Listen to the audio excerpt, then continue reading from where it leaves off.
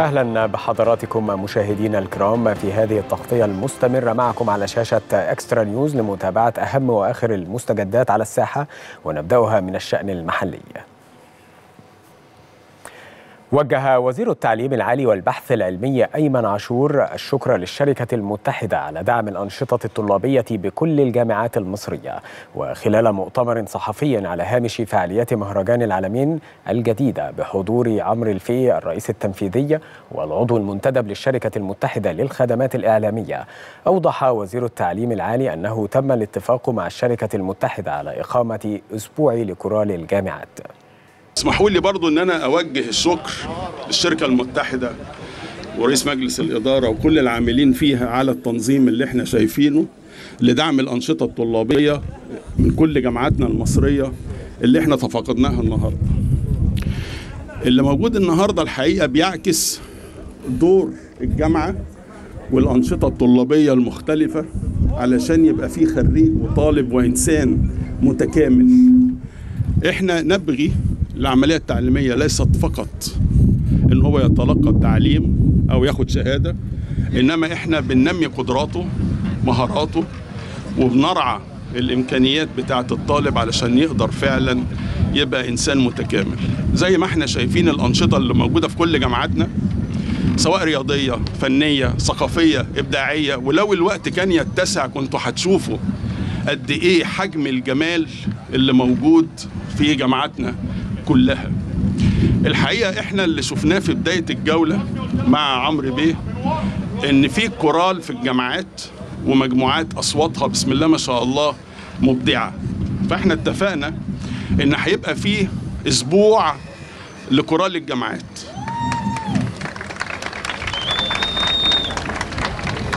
وأنا بشكر الحقيقة الشركة المتحدة على دعم الأسبوع ده.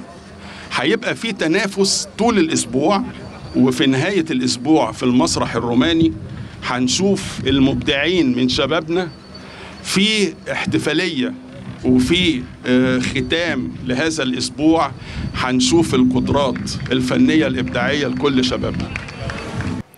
هذا وقال وزير التعليم العالي إن مهرجان العالمين الجديد مستمر حتى نهاية أغسطس وفي كل أسبوع ستكون هناك مجموعة من شباب جامعات مختلفة من الجامعات الحكومية الأهلية والخاصة والتكنولوجية والمعاهد العليا وأفرع الجامعات الأجنبية وذلك لاكتشاف المواهب. إحنا على مدى المهرجان لغاية آخر أغسطس كل أسبوع هيبقى فيه مجموعة من شباب جامعات مختلفة. بمعنى الجامعات الحكومية الأهلية الخاصة التكنولوجية والمعاهد العليا وأفرع الجامعات الأجنبية. إحنا حريصين على إن كل شبابنا في كل جامعاتنا ومؤسساتنا التعليمية نكتشف مواهبهم نكتشف إبداعاتهم علشان فعلا يقدروا يعبروا عنها ويشوفوا كمان الجمال اللي إحنا شايفينه في مدينة العالمين.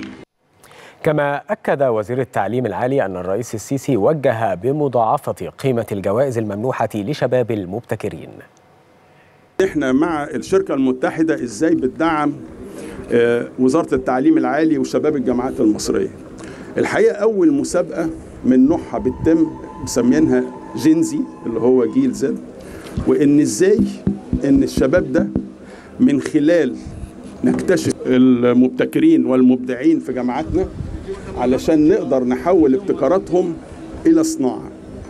الرد بقى بتاع السؤال بتاع حضرتك مرتبط ببداية مثل هذه المسابقات. إحنا على مدى 15 حلقة بنكتشف أكتر من 350 مشروع اتقدم من كل جامعات مصر. وتاني أنا بقول كل جامعات مصر. بنقدم أفكار من الشباب علشان نحاول إننا نكتشف المبتكر والمبدع جوه الجامعة وفي نفس الوقت بيبقى لجنة التحكيم من الصناعة اللي هو بياخد هذه الفكرة وبيحولها إلى منتج. الحقيقة إحنا بندعم بداية تحويل الفكرة إلى منتج اقتصادي وده كله الحقيقة من خلال التكامل بين الصناعة وما بين الاكاديميا وإحنا في هذا المشروع هو مبادرة رئاسية إحنا سيادة الرئيس الحقيقة وجه لما اتكلمنا على هذا المشروع في الاحتفالية اللي كانت يوم التفوق في قناة السويس إن هو الحقيقة ضاعف الميزانية اللي كنا عاملينها علشان نقدر نغطي تحول الابتكار إلى منتج حقيقي من خلال الطلاب المبتكرين اللي موجود في جامعاتنا. قال عمرو الفيل الرئيس التنفيذي والعضو المنتدب للشركة المتحدة للخدمات الإعلامية إن هناك اهتماما كبيرا بطلاب الجامعات مرحبا بالطلاب في مدينة العالمين الجديدة. وأضاف خلال مؤتمر صحفي مع وزير التعليم العالي أيمن عاشور على هامش فعاليات مهرجان العالمين الجديدة أن الشباب هم جيل المستقبل. برحب بيكم في العالمين. والحقيقة أنا سعيد بوجودكم هنا السنة دي وإحنا السنة دي اهتمينا إن شباب الجامعات يبقى كلهم معانا وإن شاء الله كل أسبوع هيبقى معانا شباب من الجامعات وعملنا يمكن الشاطئ ده مخصوص لشباب الجامعات. أنتوا أنتوا جيل المستقبل أنتوا اللي هتحملوا الراية بعد كده وفي منتهى الأهمية الحقيقة إن أنتوا تيجوا تتفرجوا على المدن الجديدة وتتفرجوا على اللي بيحصل في العالمين. وأنا بشكر معالي الوزير يمكن إحنا تعاوننا مع الوزارة تعاون كبير مش بس في العالمين. إحنا بنعمل برنامج جنزي مع بعض. وفي فكرة مسلسل كمان إن شاء الله بنطورها وهنعملها مع بعض. كما أكد عمرو الفقي أنه يتم التجهيز لتعاون كبير مع وزارة التعليم العالي لإقامة عدد من الأنشطة في مدينة العالمين الجديدة. إحنا السنة دي كنا مهتمين جدا إنه يبقى طلابنا معانا هنا في العلمين وإحنا زي ما قلت برضو من شوية إحنا فتحنا ال beach ده مخصوص للطلاب. آه إن شاء الله هم معانا في كل حفلاتنا. آه كمان قلنا إنه الكورال بتاع الجامعات هنعمل ما بينه ما بينه مسابقة هنا وهيجي يعرض هنا. والشباب بيدي energy للمكان. وإن شاء الله الفعاليات كتيرة جدا اللي جاية مع الطلاب بإذن الله في الفترة الجاية. وعلى هامش مهرجان العالمين الجديدة أجرت كاميرا إكسترا نيوز عددا من اللقاءات. إحنا هنا الوفد بتاع جامعة المنيا مشترك بثلاث أنشطة. عندنا النشاط الرياضي في خماسي كرة القدم وعندنا الطايرة الشاطئية وعندنا فنون تشكيلية مشتركين بثلاث إيفنتات. طبعا هي حاجة جميلة لمحافظة العالمين الجديدة وبنحب نقول لكل الزوار وكل السادة السائحين إن هم يتفضلوا عندنا هنا. عندنا أماكن جميلة عندنا أماكن سياحية حلوة جدا لازم يعني يجوا ويبصوا عليها. إحنا عندنا أكتر من نشاط اولا عندنا النشاط الفني الطلبة بيعرضوا لوحات زي لوحات زيت أو أعمال يدوية وعندنا أنشطة رياضية زي الفولي بول وكرة القدم والنهاردة المفروض إن إحنا هنكرم الطلبة اللي فازوا في الانشطه دي. إن إحنا نجيبهم هنا بيخليهم اولا يكتسبوا ثقة من اللي هم بيعملوه وكمان يعرضوا فنهم واللي هم بيعملوه للعالم وكمان بيخليهم يتعرفوا على بعض يتعرفوا على الثقافات على المناظر الطبيعية المختلفة وده بيساعدهم أكتر إن هم حتى يطوروا من نفسهم في جامعاتهم ويعملوا شغل أكتر وكده. إحنا كلنا هنا مبسوطين بالمكان المكان مناسب في كل حاجة كان رياضي أو فني أو اجتماعي. طبعا الملعب كويس بتاع القدم إن هو على البحر على طول. كلنا مبسوطين بالمكان في كل حاجة محتاجينها ومش محتاجين حاجة تاني. إحنا كلنا مبسوطين هنا. مدينة جميلة والله واجواء ممتازة وتنظيم على أعلى مستوى. إحنا بنلعب كورة وصلنا للنهائي بس ما حلفناش الحظ اللي إحنا نكسب. في آخر ثواني الحمد لله يعني أنا عملت ماكت جمعت من مجالين مجال التصميم التصميم الهندسي وعملت كاسيتو البرجين من ضمن ست أبراج. في اول العالمين بأشغال فنية جلد صناعي وعليه تطريز وتفريغ وفي اضاءه تفقد وزير الإسكان والمرافق والمجتمعات العمرانية شريف الشربيني اللمسات النهائية لأعمال التشطيبات بالوحدات السكنية بالحي اللاتيني بمدينة العالمين الجديدة وذلك تمهيدا لبدء تسليمها للحاجزين. ووجه وزير الإسكان مسؤولي هيئة المجتمعات العمرانية الجديدة وجهاز المدينة بمتابعة العمل على مدار ال 24 ساعة وسرعة إنهاء اللمسات الأخيرة لتشطيب العمارات السكنية التي سيتم تسليمها والالتزام بأعلى جودة في تنفيذ أعمال التشطيبات وسرعة إنهاء أعمال تنسيق الموقع. كما شدد وزير الإسكان على ضرورة أن يكون مشروع الحي اللاتيني في أبهى صورة واختيار أفضل الشركات للتشغيل والصيانة.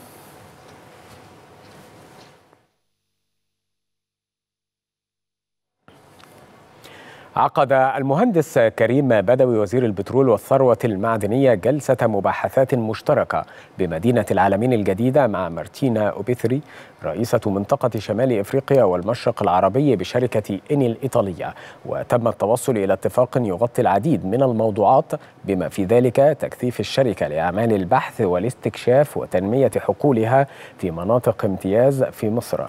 فضلا عن زيادة عدد الحفارات العاملة. كما تم الاتفاق على استغلال مكانة مصر كمركز إقليمي لتداول الطاقة لاستقبال الغاز المنتج من حقول شركة إني بشرق المتوسط. بالإضافة إلى تصديره من خلال تسهيلاتها القائمة في مصر وأشار وزير البترول إلى أن شركة إني لها تاريخ طويل من العمل في مصر وحققت العديد من النجاحات. كما تتوفر العديد من الفرص الاستثمارية لزيادة أنشطتها خلال الفترة المقبلة موضحا أن الاتفاق يمثل دفعة ودفعة قوية لزيادة أنشطتها بما يسهم في زيادة معدلات الاستثمار والإنتاج.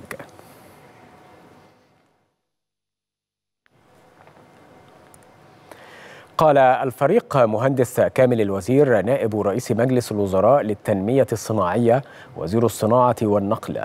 قال إنه جاري الإعداد لإنشاء أول مصنع للحاويات في مصر بالتعاون مع إحدى الشركات المصرية للتغلب على مشكلة نقص الحاويات المستخدمة في نقل البضائع. وخلال عقده لقاء موسع مع شريف فاروق وزير التموين والتجارة الداخلية لبحث تعزيز التعاون ووضع مجموعة من الإجراءات لتيسير نقل وتداول السلع الاستهلاكية الأساسية بأسعار مناسبة وجودة نقل عالية.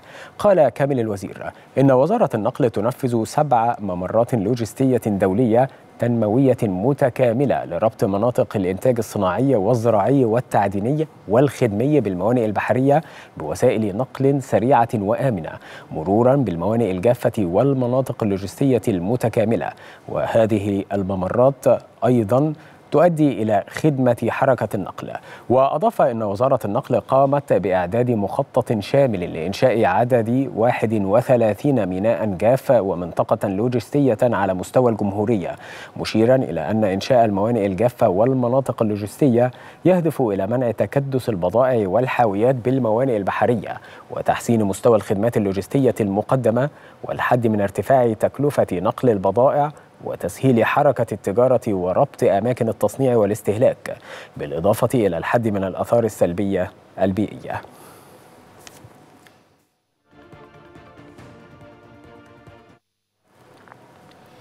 أجرى الدكتور خالد عبد الغفار نائب رئيس مجلس الوزراء وزير الصحة والسكان جولة ميدانية مفاجئة بعدد من مستشفيات محافظة الجيزة في إطار حرصه على متابعة سير العمل ميدانيا والوقوف على الخدمات الطبية المقدمة للمرضى.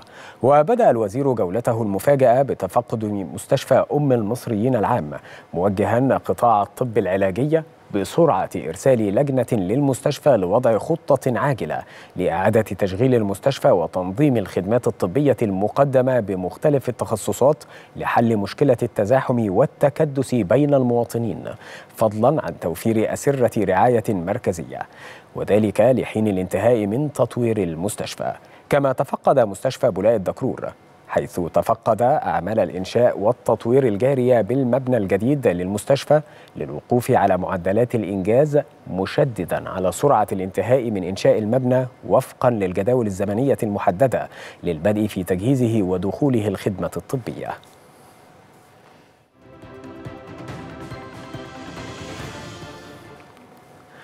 شهد وزير التعليم العالي أيمن عاشور مراسم توقيع بروتوكول تعاون بين جامعة الدلتا للعلوم والتكنولوجيا وجامعة بليموث بالمملكة المتحدة.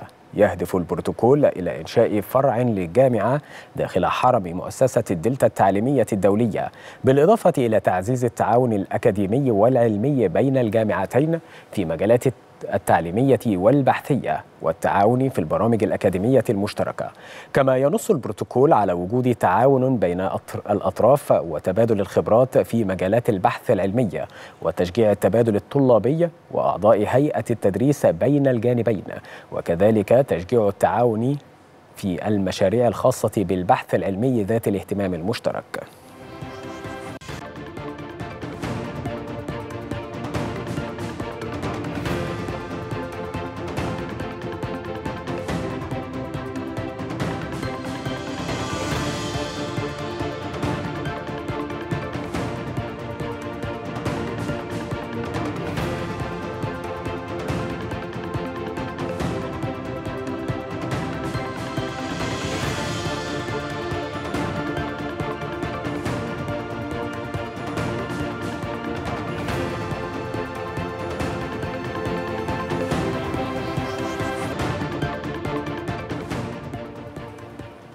مشاهدينا ننوه إلى هذا الخبر العاجل. عقد الرئيس عبد الفتاح السيسي اليوم اجتماعا مع كل من الدكتور مصطفى مدبولي رئيس مجلس الوزراء والمهندس محمود عصمت وزير الكهرباء والطاقة المتجددة والمهندس كريم بدوي وزير البترول والثروة المعدنية وذلك في إطار المتابعة المستمرة لجهود الحكومة فيما يخص عددا من الملفات ذات الأولوية في قطاع الطاقة وعلى رأسها تنفيذ توجيهات السيد الرئيس بإيجاد حلول حاسمة لمسألة تخفيف أحمال الكهرباء مع وقفها خلال فصل الصيف تخفيفا عن المواطنين.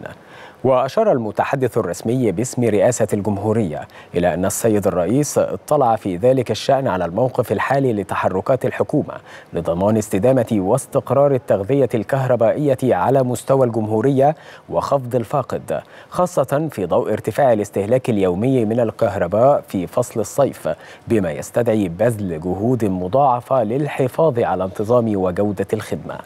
وفي هذا الصدد استعرض رئيس مجلس الوزراء ووزير الكهرباء والبترول استعرض جهود توفير الاحتياجات العاجلة لقطاع الكهرباء من المنتجات البترولية بما أدى إلى القدرة على وقوف وقف تخفيف الأحمال خلال فترة الصيف مع العمل المكثف وفقا لخطط زمنية محددة من أجل إنهاء تلك المسألة بشكل جذري اخذا في الاعتبار عدم الاستقرار الإقليمي والدولي وتأثيراته المحتملة على قطاع الطاقة. كما تم عرض الخطط المستقبلية للحكومة لتشجيع الاستثمارات في قطاع الطاقة بهدف زيادة الإنتاج من الزيت الخام والغاز في أسرع وقت ممكن وتعجيل برامج الاستكشاف بما يعود بفوائد اقتصادية وخدمية على المواطنين كما تم تناول برامج الحكومة لتعظيم استخدام التكنولوجيات الحديثة لزيادة الإنتاج بهدف خفض تكاليف الاستيراد فضلا عن تأمين الإمدادات الخاصة بالبترول والغاز للسوق المحليه وأضاف المتحدث الرسمي أن الرئيس السيسي وجه بتكثيف العمل الجاري على صعيد تنفيذ مشروعات الطاقة المتجددة سواء الطاقة الشمسية أو طاقة الرياح بهدف إضافة قدرات جديدة إلى الشبكة الكهربائية مشددا على الأهمية الكبرى لهذا المسار في ضوء التنامي المضطرد لاحتياجات الاستهلاك المحلي من الطاقة سواء للأفراد أو للصناعة والإنتاج.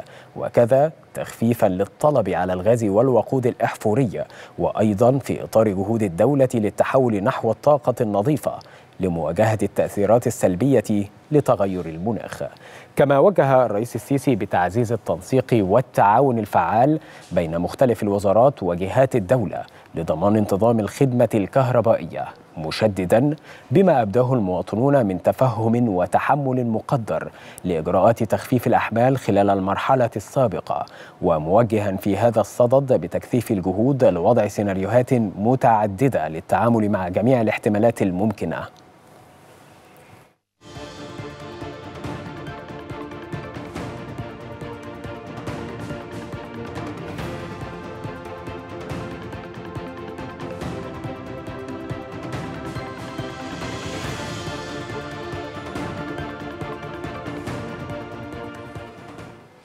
مشاهدينا ما زالت التغطية مستمرة معكم على شاشة اكسترا نيوز ولكن بعد الفاصل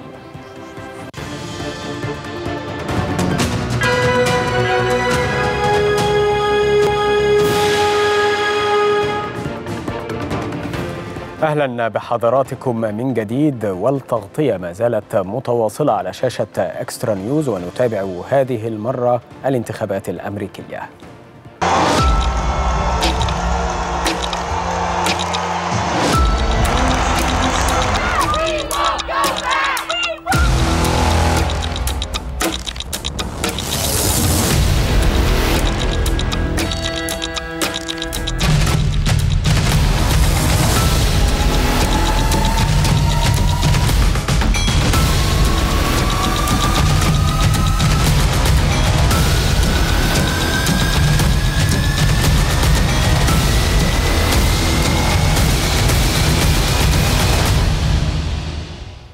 أعلن الرئيس الأمريكي السابق دونالد ترامب المرشح الجمهوري في الانتخابات الرئاسية الأمريكية أنه متقدم في استطلاعات الرأي الحديثة بأكثر من عشر نقاط مشيرا إلى أن الحال كان مماثلا مع الرئيس جو بايدن قبل انسحابه من الانتخابات. واتهم ترامب نائبة الرئيس كاميلا هاريس والمتوقع خوضها للانتخابات عن الحزب الديمقراطي بعد انسحاب بايدن. اتهم بأنها دمرت مدينة سان فرانسيسكو.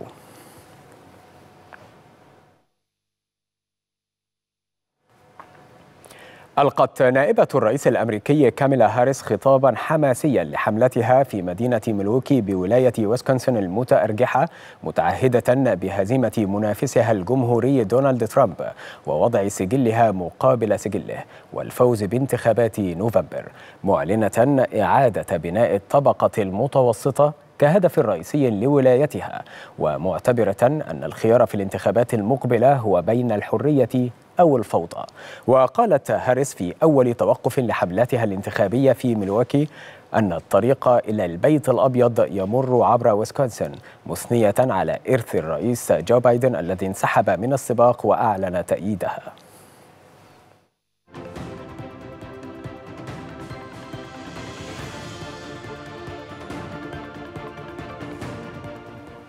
وللاقتراب أكثر من المشهد الانتخابي في الولايات المتحدة الأمريكية. ينضم إلينا هاتفيا الدكتور أيمن زهران أستاذ العلاقات الدولية. أستاذ أيمن بداية كيف ترى السيناريوهات المتوقعة ما بعد انسحاب الرئيس جو بايدن؟ أستاذة أستاذة إيمان زهران عفوا كيف ترين المشهد الانتخابي والسيناريوهات المتوقعة بعد انسحاب الرئيس جو بايدن؟ آه مساء الخير في البداية لسيادتك. آه يمكن المشهد الانتخابي بشكل عام حاليا في 2024 في الولايات المتحدة الأمريكية يمكن مشهد معقد ومتشابك في العديد من الأبعاد بيفرضوا المشهد التفاعلي في النظام الدولي ككل وإدراك الولايات المتحدة كذلك مدى تراجعها في إعادة تقييم النظام العالمي. النقطة المهمة في الموضوع إن ليس فقط بعد انسحاب جو بايدن وتقدم كمالا هاريس للانتخابات الأمريكية لكن كذلك ما يحتويه الخطابات سواء بالنسبة لدونالد ترامب أو بالنسبة لكمالا هاريس خريطة المرشحين المرشحين كذلك بالنظر إليهم كذلك الأجندتهم أو ما يعنينا في الشرق الأوسط الأجندة للسياسه الخارجية لكلا المرشحين. النقطة الثانية أوضاع الداخلية اللي بتفرضها كذلك نتائج الحسم في الداخل الأمريكي. ندرك جيدا في العلاقات الدولية أن السياسة الخارجية لدولة ما بتنطوي على التفاعلات الداخلية. وبالنظر لمدى هشاشة السياسة الخارجية الأمريكية في الآونة الأخيرة نستطيع أن نستشف مدى تعقيد الأوضاع الداخلية الأمريكية واللي هتنعكس بشكل واضح ليس صحيح. فقط على مسار الانتخابات الأمريكية لكن كذلك على معدلات التصويت، الأمر ليس فقط مجرد تصويت على المستوى الوطني، لكن هناك آلية أخرى تتعلق بالمجمع الانتخابي والزام المرشح الحصول على 270 صوت إن لم يكن أكثر للمرور بهذا الأمر، وبالتالي فكرة السيناريوهات المطروحة لآلية الانتخابات أو من يمكن له الفوز ببيت الأبيض ده لا يشوبه العديد من الضبابية. هناك العديد من السيناريوهات المطروحة سواء بالنظر لخريطة نسب التصويت على سبيل المثال أو النقطة الثانية هناك بيعاد للأذهان سيناريوهات 2016 من الممكن أن يحظى مرشح بتصويت وطني نسب عالية بالتصويت الوطني وفقا لاستطلاعات الآراء لكن قد يوزن في المجمع الانتخابي. أو العكس صحيح. وبالتالي لا زالت هناك رهانات من هنا وحتى يتم العملية التصويتية في نوفمبر. القادم لا زالت هناك تباديل وتوافيق لا زال الناخب الأمريكي كذلك وليس فقط المجمع الانتخابي يتلمس بخطى حسيسه الأجندة الداخلية في المقام الأول لدى كلا المرشحين. كذلك ما تسفر عنه الرؤى والسياسات ما تبنيها المرشح للتحركات الأمريكية على المستوى الخارجي خاصة الولايات المتحدة الأمريكية. لديها العديد من المشكلات في الداخل المشكلات الاقتصادية البطالة كذلك المشكلات النوعية ما يتعلق بتغيرات المناخ وما إلى ذلك. كم من المشكلات ستكون حاكمة في نتائج التصويت وربما دكتورة إيمان زهران يعني هذا ما دفع كاميلا هاريس إلى الحديث بأن أولوياتها في الفترة القادمة هو إعادة بناء الطبقة المتوسطة المتوسطة وأعطت خيار ما بين الفوضى أو الحرية، كيف تصفين أيضا هذا في أول التصريحات لكاميلا هاريس؟ بالفعل هي تصريحات كاميلا هاريس بتخاطب المستوى الوطني أو المستوى الأول من النتائج التصويت. هي بتخاطب الشعب الأمريكي صحيح. بشكل واضح. ويمكن كذلك على المستوى ترامب ترامب كذلك أوضح بشكل واضح إنه أجندته الداخلية بتستهدف الاقتصاد بتستهدف الضرائب بتستهدف ملف الهجرة وهي أحد الملفات الشائكة في الداخل الأمريكي بشكل واضح. كذلك إن الناخب الأمريكي يدرك أن عقلية ترامب هي عقلية براجماتيه عقلية اقتصادية حاكمة أو ما يسميه في, في العلاقات الدولية الواقعية الهجومية بشكل واضح. وبالتالي هناك منافسة واضحة ما بين كلا المرشحين فيما يتعلق بالملف الداخلي. حال يقول اي منهم لإدارة الملف الداخلي وفقا لتطلعات الناخب الأمريكي؟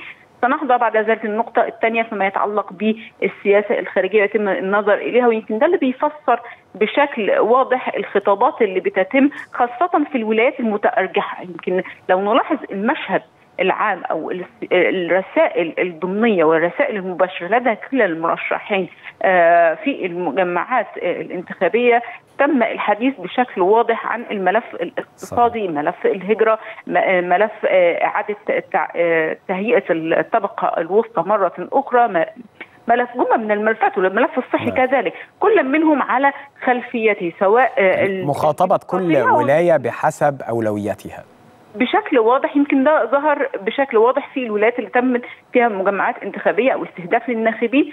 كذلك بشكل واضح كذلك الولايات الرئيسية يمكن ده هنشاهده كذلك الأيام المقبلة في الولايات المتأرجحة الولايات حاسمة الأصوات في الانتخابات بشكل أساسي. كل هذا الأمر قد يعيد تشكيل الرؤية الانتخابية. يمكن لذلك أنا بقول إنه لا زال المشهد ضبابي فيما يتعلق بأي منهم سيتم حسم السباق الانتخابي خلال المرحلة المقبلة. صحيح. دكتورة إيمان زهران نتحدث عن انتخابات أمريكية ربما ليست بالعادية. نتحدث عن 105 أيام. تفصلنا عن انتخابات نوفمبر الانتخابات الأمريكية وحتى الآن لم يقدم رسميا الحزب الديمقراطي مرشح ممثل عنه لخوض هذه الانتخابات. هل هذا المشهد كان اعتياديا في الماضي؟ وما دلالات هذا المشهد الذي ربما يكون مرتبك إلى حد ما سواء كان للحزب الديمقراطي داخليا أو حتى الحزب الجمهوري الذي لا يعلم ويمثله ترامب لا يعلم من هو الخصم الحقيقي له حتى هذه اللحظة. يمكن زي ما سيادتك تفضلت وقلت إن المشهد مرتبك في الحزب الديمقراطي بشكل كبير خاصة وإن هناك أربع مرشحين لتولي الانتخابات بشكل واضح ليس فقط كمالا هاريس لكن هناك ميشيل أوباما حاكمة ميشيغان وحاكمه كاليفورنيا وما إلى ذلك. هناك العديد من الأسماء مطروحة على خارطه الانتخابات بالنسبة للحزب الديمقراطي.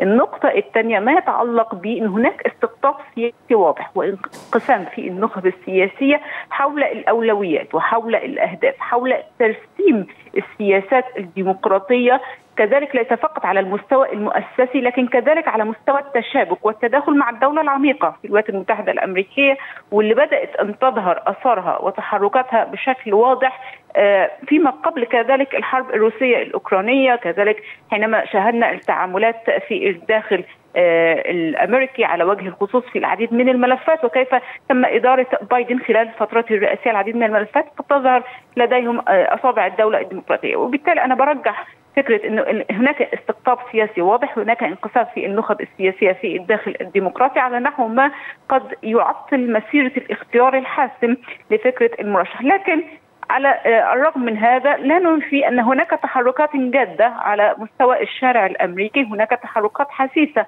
من جانب الديمقراطيين للدفع بكمالا هاريس كمرشح محتمل إن لم يكن رئيسي أمام دونالد ترامب لكن في كلا الأحوال إن هذا الأمر لا ينفي التحرك الجمهوري، لا ينفي أن هناك حالة استعداد من جانب الجمهوريين، هناك خريطة مدروسة تمثلت في الدفع بالمرشح ترامب، تمثلت في التحركات على المستوى الداخلي وعلى المستوى السياسي توظيف كذلك للآليات والأدوات. يمكن شاهدنا التوظيفات السياسية للجمهوريين لحادث الاغتيال بالنسبة لدونالد ترامب وكيف تم توظيفه كنوع من توضيح حفل الحملة الانتخابية بشكل واضح وكذلك للضرب كذلك في الديمقراطيين وفكرة السياسات الأمنية وما إلى ذلك من شأن داخلي. أعيد توظيفه على نحو ما يخدم الجمهوريين بشكل واضح في الحملة الانتخابية.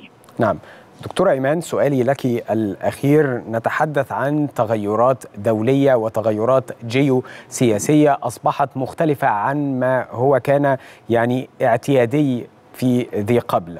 هل الملف الخاص بالسياسة الخارجية سيختلف لساكن البيت الأبيض أيا ما كان خلال الانتخابات المقبلة أو بعد تولي الرئيس القادم للولايات المتحدة الأمريكية زمام الأمور هل سوف يختلف المشهد فيما يخص أولوياتنا حتى نحن كعرب فيما يخص القضية الفلسطينية فيما يخص غيرها من الملفات إيران وغيرها من الملفات التي نعني نحن بها وتهم الشعب العربي في المقام الأول هل هذه الملفات سوف تتغير إدارتها؟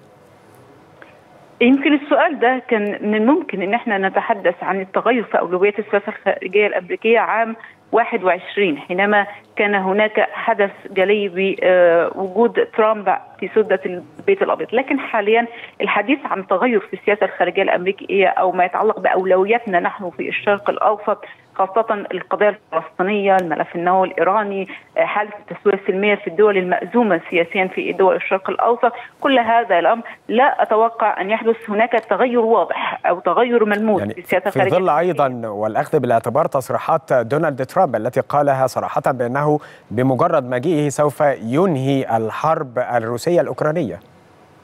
تلك تصريحات للاستهلاك المحلي بشكل واضح خاصة وأن الحرب استنزفت المقدرات الأمريكية سواء على المستوى الاقتصادي أو على المستوى المادي ووضعية الولايات المتحدة الأمريكية في هرم النظام الدولي. نتحدث حاليا فيما بعد الحرب أن هناك إعادة تشكيل لهيكل النظام الدولي أصبح هناك فواعل فاعلة بشكل واضح سواء روسيا، الصين، دول الجنوب بشكل واضح أصبح لها بصماتها الخاصة في النظام الدولي. وبالتالي هي تلك شعارات نعم. سياسية، لكن ما يتعلق بالممارسة الفعلية تحدث مرة أخرى عن تشكيل التفاعلات يعني نستطيع أن نقول دكتورة إيمان هي مجرد تصريحات انتخابية ليست إلا الهدف الرئيسي منها هو كسب مزيد من التعاطف فيما يخص المجمعات الانتخابية التي معروف هي التي تحسم دائما هذه الانتخابات. بنشكر حضرتك الدكتورة إيمان زهران أستاذ العلاقات الدولية وإلى هنا مشاهدينا نكون قد وصلنا إلى نهاية هذه التغطية الإخبارية. أشكركم على طيب المتابعة. كنت معكم أحمد Sports.